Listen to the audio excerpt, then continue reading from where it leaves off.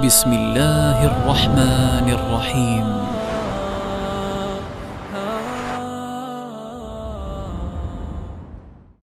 بسم الله الرحمن الرحيم الحمد لله رب العالمين والصلاة والسلام على نبينا محمد وعلى آله وصحبه أجمعين وبعد السلام عليكم ورحمة الله وبركاته alloh subhanava taolodan yordam so'rab ro'za ahkomlari degan darsimizni davom ettiramiz alloh subhanava taolo o'zi darslarimizni davomli va manfaatli qilayotgan bo'lsin amin ya robbil alamin mana aziz birodarlar ro'za ahkomlariga taalluqli bo'lgan masalalarni bir qanchasini o'tib mana o'tgan safargi darslarimizda ham aytib o'tdik.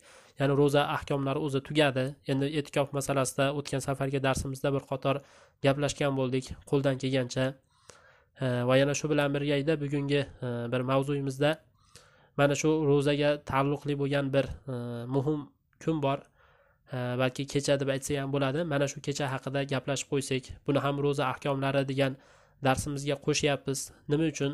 Chunki muhim bo'lganligi uchun bu kunimiz. Bir qator ikki og'iz bu haqida inshaalloh gapirib qo'yamiz. Ho'p endi ya'ni darslarimiz inshaalloh oxirlab qoldi. Bu inshaalloh mana o'n yettinchi darsimiz. Ho'p birinchi navbatda qadr kechasi. Buni albatta fazli hech kimga ma'lum emas. Buni fazli nihoyatda ko'p qadr kechasini. Xosatan qadr kechasini alloh subhanava taolo muborak ya'ni fi laylati mubaraka deb turib mana bir oyatlarda alloh taolo aytadiki biz qur'oni karimni muborak bir kechada nozil qildik deb turib aytgan. Ya'ni mana bu qadr kechasini muborak deb turib nomlagan alloh subhanava taolo.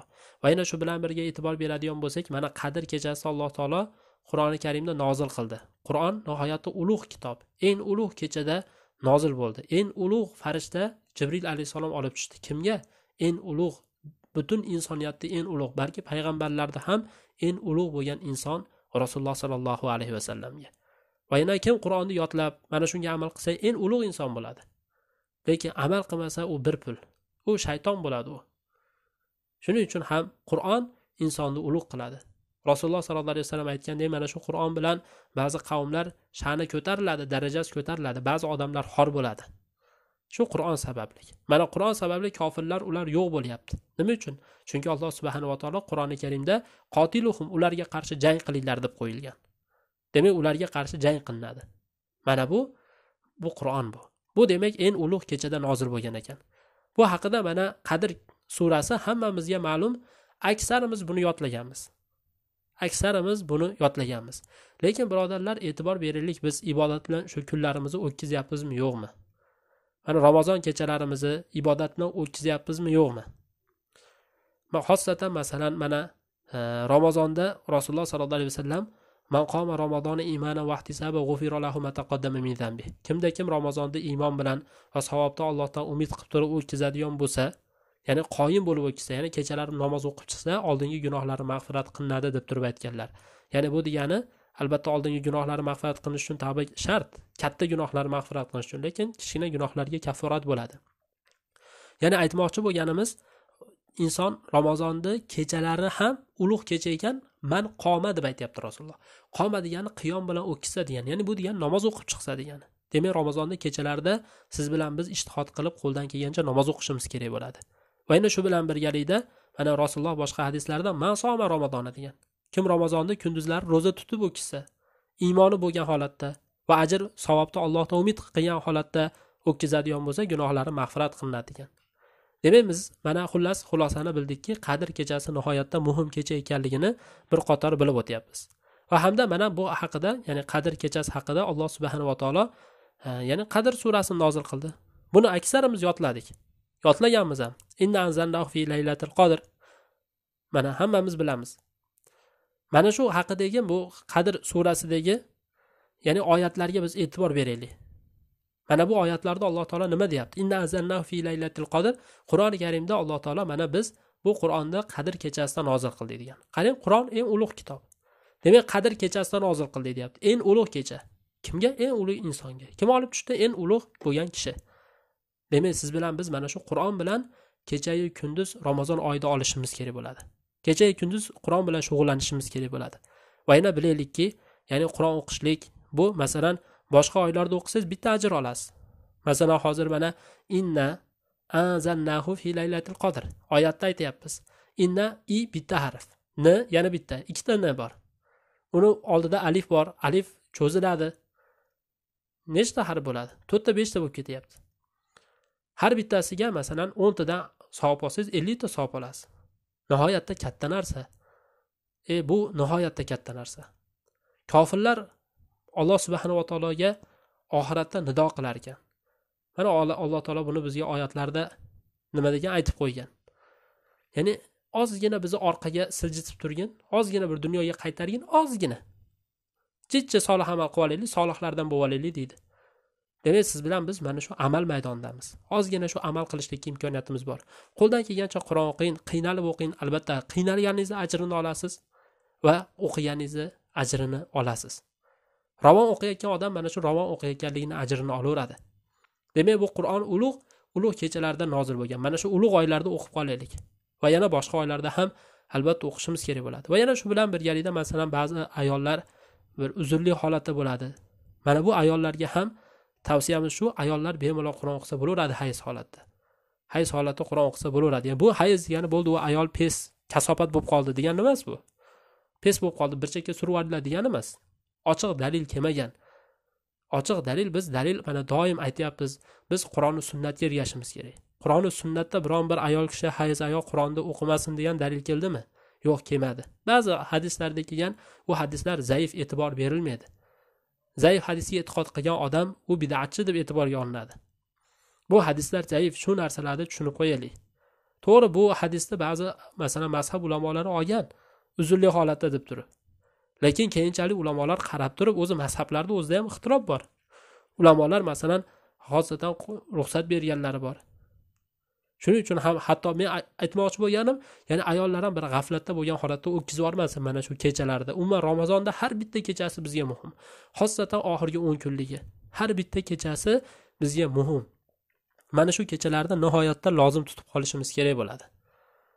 Mana o'tgan safargi darsimizda e'tikof masalasini gaplashdik. E'tikofni ramazonga bog'liqli yeri bor ekanligini aytdik. Nima uchun? Chunki mana shu e'tikofni ya'ni qadr kechasini topish uchun inson e'tikofga kiradi. E'tikofga qachon kirishni aytdik? Masalan yigirma birinchi kunda bomdodda kiradi yoki bo'lmasa shomdan oldin kiradi degan so'zlar bor. Ya'ni bu degani shu o'n kun bo'ladi. Siz o'n kun e'tikofda qolasiz. Shunga o'xshagan so'zlarni bir qator aytib o'tdik. Va yana mana shu oy e, mana shu qadr kechasida keladida ming oydan yaxshi ekanligi aytiladi. Laylatul qadri xoyrum min alfi shahr. Qadr kechasi mana qadr kechasi. Ming oydan ko'ra yaxshi. Bu taqriban to'qson yil deyiladi. To'qson yil bitta insonni ya'ni uzoq umr ko'radigan odamni umri bu. Ya'ni hisob bilan o'lchaganda sakson to'rt sakson uch sakson to'rt yil bir umr chiqadi. Mana shu odamdan ko'ra nima qilib o'tgan amaldan ko'ra shu bir kechada ikki rakat namoz o'qib qo'yganingiz afzal. Tushunarlia demak bu nihoyatda muhim bo'lgan ya'ni ma'nolar. Endi ulamolar bu haqida har xil masalan so'zlar bor bu kecha haqida. Va yana shu bilan birgalikda Э, farishtalar mana shu kechada tushadi mana. Shu qadr kechasini to'rtinchi oyatda keladiyu farishtalar va hamda ruh tushadi degan. Ruhdan murod ulamolar jibril deb turib aytadi. Demak robbilarini robbisini izni bilan tushadi. Olloh izn beradi bularga tushadi. Butun farishtalar yer yuzini bosib ketadi. Lekin siz bilan biz ko'rmaymiz ularni. Biz alhamdulillah iymon keltirib qo'yganmiz. Demak tushadi ular. Hammalari farishtalar tushadi robbilarini farmoni bilan. Min kulli amr. Ollohni farmoni bilan tushadi. Va yana shu bilan birgalikda qarang bu oyatlardagi ma'lumotlar. Rasululloh hadisda aytadi qadr kechasi yettinchi yoki to'qqizinchi yoki yigirmanchi kecha bo'ladi deganlar. Demak yigirmanchi kecha bo'lib qolishi ham mumkin. Va hamda farishtalar mana shu kechada toshda yerdagi toshlarni adadidan ko'ra farishtalar ko'p bo'ladi deb rasululloh bizga hadisda aytib beradi. Bu hadisni sahih hadis hasan hadis degan ulamolar e, ibn huzayma rivoyat qilgan. Ya'ni bemalol amal qilsa bo'laveradigan hadis. Va hamda bu kechani bir salomat kecha deb aytilgan. Tinch ya'ni oson ishda bo'ladi. Butun bir yomonliklardan salomat bo'ladi degan ulamolar tafsirida. Ba'zi ulamolar faqat salomatlik bo'ladi deb turib aytgan. Chunki oyatda salamun hiya hatta matlail fajr. U tong otgunigacha xotirjam kecha bo'ladi degan. Bu avvalambor o'zimga nasihat. Ya'ni mana shu kechalarni muhim bilib qolish. Keyin sizlarga ham mana shunday kechalarni tavsiya qilamiz. Chunki bu kecha muborak kecha mana yuqorida ham oyatlarda aytib o'tdik. Muborak bir kechada nozil qildik deb turib aytildi. Va hamda shu bilan birgalikda mana ba'zi oyatlarda mana shu qadr kechasida butun qadarlar yozilishi aytilgan. Fiha yufroqu kullu amrin hakim. Har bitta ish mahkam bo'lgan ishlar shu kechada ajraladi deb turib aytilgan. Qarang va yana shu bilan birgalikda boshqa bir hadisda endi tushunarli bular dalillarni keltirib keltirib ketyapmiz. Maqsad biz mana shu kunlarni lozim tutishimiz. Mana shu kunlarda lozim tutishimiz. Endi qadr kechasi e, haqida rasululloh aytadi man qoma laylatal qodri imana vaqti saba lahu ma taqaddama min zambi kimda kim qadr kechasini savobni allohdan umid qilib iymon bilan o'tkazadigan bo'lsa oldingi gunohlari mag'firat qilinadi deyapti. Endi oldingi gunohlari mag'firat qilinadi deb turib aytilyapti. Endi bu yerda bir narsa qo'shib qo'yamiz. Masalan boshqa hadislarga e'tibor bersak besh vaqt namoz. Bitta namoz boshqa namozgacha ramazon ramazongacha o'rtadagi gunohlarga mag'firat bo'ladi. Agar gunoh kabiralardan chetlansa deyilgan. Shu narsani ham unutmaylikki gunoh kabiralardan chetlanishimiz kerak bo'ladi. Gunoh kabiralarga kiradiki inson birodarni g'iybat qilish qo'shiq eshitishi. Masalan ba'zilar savol beryapti masalan ro'za tutadi kuni bo'yi qo'shiq eshitib yuradi. Naudubillah qanaqa holatda gunohlari kechirilsin u odamni alloh taolodan mag'firat so'rasin u odam bunaqa narsalarni yig'ishtirsin. Bu xullas kechani fazilati bizga tushunarli bo'ldi. Mana shunga cheklanamiz bu kechani fazilati haqida. Ya'ni yana xulosa qiladigan bo'lsak bu kecha eng afzal kecha ekan demak. Mana shu kechada qur'on nozil bo'libdi. Eng afzal kitob. Eng afzal kishi jibril alayhissalom olib tushdi eng afzal kishiga ya'ni rasulullohga. Demak shu qur'onni olib qolgan odam nihoyatda katta nasibani olgan bo'ladi. Shu kechada ibodat qilgan odam eng ulug' kechada. Bir umr ibodat qilgandan nima bo'lar ekan? Yaxshi bo'lar ekan. Mana shu narsalarni ham unutmaylik. Va yana shu bilan birgalikda ba'zi bir qo'shimchalarni qo'shib qo'yamiz. Endi bu yerda nima uchun qadr kechasi deb turib nomlandi deb aytiladigan bo'lsa ulamolar e, har xil so'zlarni aytgan.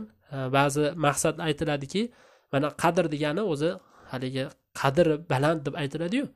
Xuddi mana shunaqa bir qadrli degan bir ma'noda deb ham aytgan.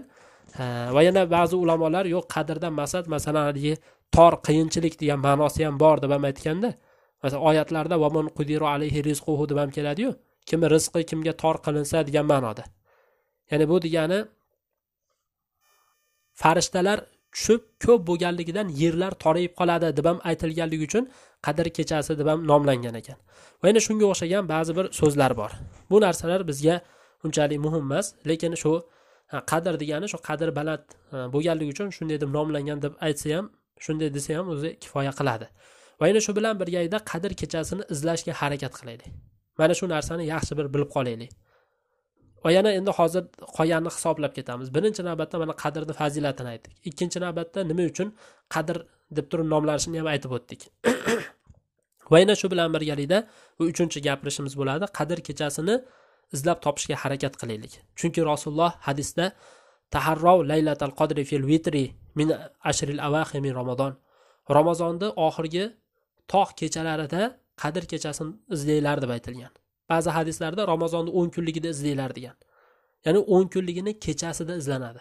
Qadr kechasini shu o'n kunlikda ya'ni ramazon oyini o'n kunligi boru shu o'n kunlikda faqat kech paytlari iloji boricha ibodat qilib chiqish kerak. Hammamiz faqat o'n kun xolos qolgan kunlari yuramiz.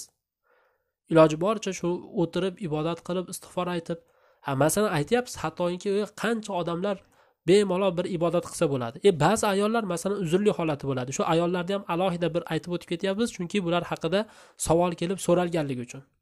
Ya'ni u ayollar ham nima qilish kerak bo'ladi? Shu qadr kechasini behudadan behuda puf qilib o'tkazib yubormasdan balki hayz holatda bo'lsa ham o'tiring duo qilib o'tiring.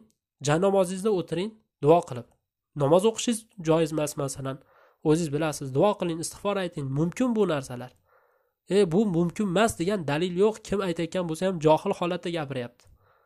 Bunaqa deb turib ilmsizlik bilan gapirmaslik kerak bo'ladi u odamlar. Mana shu narsalarni ham biz alohida bilib qo'yaylik. Bu uchinchi eslatmamiz. Demak qadr kechasini hammamiz topishlikka harakat qilaylik. Va hamda mana shu xossatan shu qadr kechasida mustahab bo'lgan amallar ham bor. Mana shunga bir qator e'tibor beramiz. Mana shu amallarda mana e'tikof. Bu yuqoridagi darsda aytib o'tdik. E'tikof masalasi bog'liq. Bu to'rtinchi hozir gapirishimiz to'rtinchi vasiyat bu. Ya'ni e'tikofni ramazonga bog'liqlik yeri mana shu qadr kechasini topish uchun.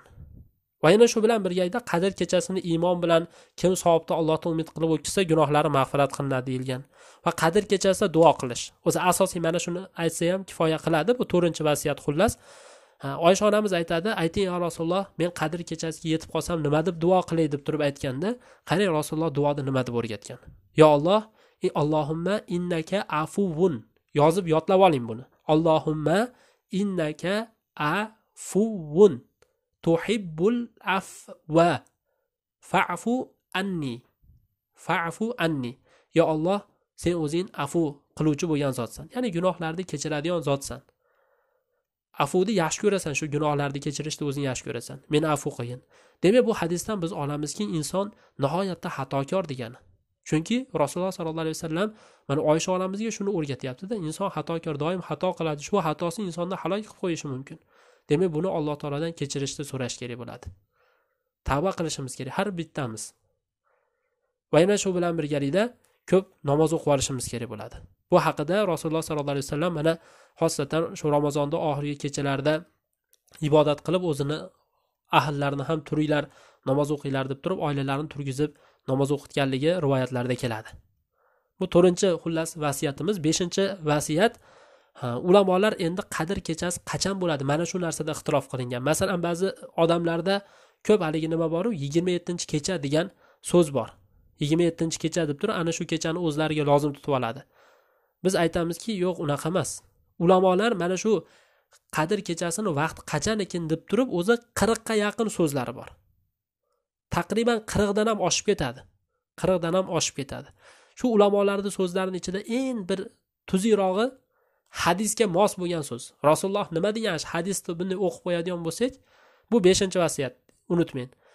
Rasululloh aytganki qadr kechasini ramazonni tog' kechalarida izlanglar degan. Ya'ni bu degani yigirma birinchi kecha yigirma uchinchi yigirma beshinchi yigirma yettinchi yigirma to'qqizinchi kechalar. Mana shu ba'zi ulamolar nima degan o'ttiz kun shu o'ttizinchi ya'ni o'n kunda hammasini izlash kerak birdan boshlab o'ngacha. Mana shuni o'zi qilaveraylik inshaalloh. Ya'ni o'n kunda hammasida o'tiraveraylik. Inshaalloh mana shu ham bizga yetadi. Bu nima? Mana shu beshinchi vasiyat ya'ni nima qilaman men bu kechada o'tirib degan gapni qilmang o'tiring ollohga nima dardingiz bo'lsa borini aytib shunday soching. Kimdan shikoyatingiz bor ollohga soching. Hamma yoqda ollohga ayting. Bo'ldi siz shuncha boshqa odamlarga shikoyat qilganingiz yetadi. Ollohga bir shikoyat qilib yalinib yorvoring. Hech umringizda ikki rakat namoz o'qib bir yalinib yorvorib yo alloh meni jannatiy qilgin bu jahannamdan meni saqlagin deb aytganmisiz? Mana shunday ishlarni qiling. Hammamiz qilaylik ota onamizni haqqiga duo qilaylik. Butun yaqinlarimizni haqqiga ota onamiz bizni haqqimizga duo qilsin. Mana shu narsalarni unutmaylik. Va hamda oltinchi vasiyat nima uchun endi mana bu qadr kechasi maxfiy? Ana yigirma yettinchi kecha deb o'zimizdagi odamlar aytadi yo'q unaqa emas bu xato. Nima uchun endi maxfiy? Demak noma'lum hozir bu kecha. Qaysi kunligi noma'lum. Bu haqida bir rivoyat keladi. O'sha rasululloh sollallohu alayhi vasallam qadr kechasini biladi. Xabar berish uchun odamlarga aytish uchun tashqariga chiqib kelayotgan paytda musulmonlardan ikkita odam tortishib qolayotgan payti bo'ladi. Shunda rasululloh aytadiki ya'ni ularni bunday epaqaga keltirib men sizlarga qadr kechasini aytishlik uchun tashqariga chiqqandim lekin falonchi bilan falonchi tortishayotgan holatini ko'rdimda mendan ko'tarilib ketdi mana shu degan. Bilmay qoldim endi qadr kechasi qaysi ekan degan. U qadr kechasi biz bilganimizda bizga ne'mat bo'lardi. Faqat mana shu kechada ibodat qilib olardikda endi hozir o'zi aslida faqat arzimagan kechalar o'zi o'n kecha. Mana shu kechalarda qattiq lozim tutib ibodatni o'tkazib olishimiz kerak bo'ladi. Shu ozroq ovqat yeb tursak ozroq u bu narsa lag'uvlarni yig'ishtirib tursak ozroq bir kinolarni yig'ishtirib turadigan bo'lsak nihoyatda katta bir narsani olamizda. Nima uchun endi mana shu ba'zi bir kino ko'rib albatta bir vaqtni o'tkazib o'tirishimiz kerak bo'ladi. Unaqa emas bu ibodatni o'tkazing ibodatni o'rganing. Ro'zadan keyingi holatlaringiz o'zingizga nihoyatda ma'qul keladi. Rasululloh hadisda aytadi bu maxfiy bo'lgani sizlarga yaxshi deb turib aytgan. Shuning uchun ham bu qadr kechasini to'qqiz yetti beshinchi kechalarda izlanglar deb turib aytgan. Ya'ni bu degani shu tog' kechalari. Yuqorida aytdiku tog' kechalari bir uch to'rt ha bir uch besh bo'ladi yetti bo'ladi to'qqiz bo'ladi. Shunaqa bo'lib izlanaveradi. Hech qachon ya'ni ramazon e, o'ttiz bir kelmaydi. O'ttiz bo'lishi mumkin. Iloji boricha mana yana takror aytamiz. E, Rasululloh mana ba'zi hadislarda nima degan? O'ttiz ya'ni shu o'n kunlikda hammasida izlashga targ'ib kelgan. Shuning uchun ham iloji boricha mana shu kechalarda hammasida izlanilaveradi. Va yana ulamolar nima uchun endi shu maxfiy bo'ldikin ya'ni mana shu qadr kechasi. Nima uchun maxfiy bo'ldi? Buni bir hikmati sababini bayon qilib aytadi. Xosatan hofiz rohimaulloh aytadilar ya'ni hofiz ibn hajar asqaloniy rohimaulloh ulamolar aytgan ekanki qolal ulama al hikmatu fi ixfa laylatil qadr liyahsul al ijtihad fi iltimasiha. Qadr kechasini maxfiy bo'lib qolganligidagi shoyat bir hikmat shunda bo'lsa kerakki bir sir mana shu qadr kechasini topishlikda nihoyatda ishtihod avjiga chiqishligi uchun bo'lsa kerak. Lekin qadr kechasi agar ochiq bo'lib qolganda edi hamma mana shu qadr kechasiga cheklanib olgan bo'lardi. Shuning uchun ham mana shu narsalar maxfiy bo'ldi deb turib aytilgan. Lekin shunda ham mana qadr kechasi o'zi ozgina kecha lekin ko'pchiligimiz e'tibor bermaymiz. G'aflatda o'tkazib yuboramiz. Albatta bu gaplarim meni avvalambor o'zimga. Bu albatta bu ular aytayotgan gaplarim o'zi aslida eslatma o'zi asli boshqa bir ustozlarimiz minglab o'zi bu eslatmalarni bergan. Zero alloh taolo qur'oni karimda eslating zero shu eslatish mo'minlarga manfaat beradi degan. Demak inshaalloh manfaat beradi bu. Shuning uchun ham buni yaxshi bir aqllarimizga joylab olaylik. Endi ulamolar qadr kechasini ba'zi bir alomatlarini aytishadi. Bu inshaalloh bir sakkizinchi vasiyat e, yettinchi vasiyat deb aytsak bo'ladi. Ya'ni nima degan? Ba'zi ulamolar aytadiki bu kecha ja issiq ham ja sovuq ham bo'lib ketmaydi deb turib aytgan o'rtacha bo'ladi degan ya'ni u salomat bo'ladi deganda mana shundan kelib chiqib turib aytganlar. Chunki ba'zi bir hadis rivoyatlarida rasululloh aytganki qadr kechasini men ko'rdim keyin unutib qo'ydim degan. Ya'ni tushimda ko'rdim degan. Va hamda u oxirgi shu o'n kunlikda deb turib aytganlar. Qarang va huva fi ashril avaxir min laylatiha ya'ni ramazonda oxirgi o'n kunligida deb aytilgan.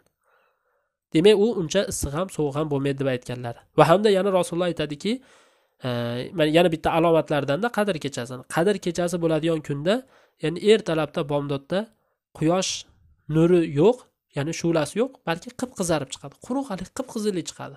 Bunday yorug' bo'ladi xolos e, nur uncha sochmaydi. Mana shunaqa bir alomatlari aytilgan bu hadislarda kelgan e, rasululloh xabar beradiki ya'ni nur chiqadi nima quyosh chiqadi lekin nuri bo'lmaydi deb turib aytganlar.